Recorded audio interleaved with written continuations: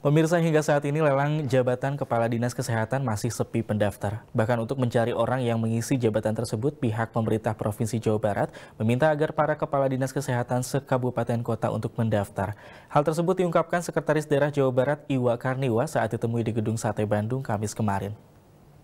Pemirsa setelah sebelumnya gagal melakukan seleksi calon kepala dinas kesehatan Provinsi Jawa Barat karena hanya ada satu orang yang lolos eh, di tahap awal, saat ini pemerintah Provinsi Jawa Barat kembali membuka pendaftaran calon kepala dinas kesehatan Provinsi Jawa Barat.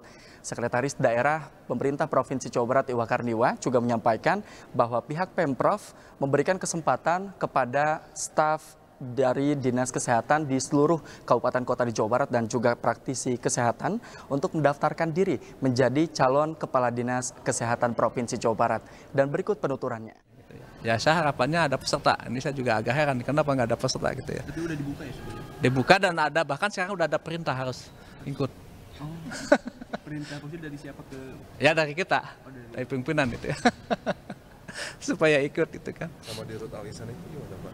Kosong gitu Ya, sudah uh, tahapannya sudah ada masukan dari hasil pembahasan dari Kadisdik, eh Kadinkes dan sedang dibahas. Uh, nanti akan saya laporkan kepada gubernur itu ditunjuk? Ya, cuma karena kan harus dari dokter ya, fungsional. Apa yang wajib daftar itu siapa? Siapa Pak Kepala Rumah Sakit? Ya, sesuai dengan kriteria lah. Itu wajib daftar. Berapa Pak proyeksinya berapa orang gitu Ya kita lihat nanti hasilnya berapa orang. Pokoknya kita jangan sampai gak ada peserta lagi.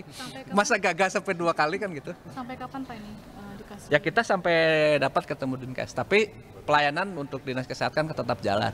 Sementara ini PLT dipegang oleh Kepala Dinas Sosial. Ini juga ada surat-surat ke kabupaten kota. Ia juga menyampaikan salah satu persyaratan yang harus dipenuhi adalah seorang dokter dan juga pemerintah Provinsi Jawa Barat berharap pendaftar tersebut merupakan lulusan sarjana strata 2. Namun hingga saat ini belum juga ada pendaftar yang mendaftarkan diri. Dan perlu diketahui, jabatan Kepala Dinas Kesehatan Provinsi Jawa Barat untuk sementara diisi oleh Kepala Dinas Sosial Provinsi Jawa Barat Dodo Suhendar.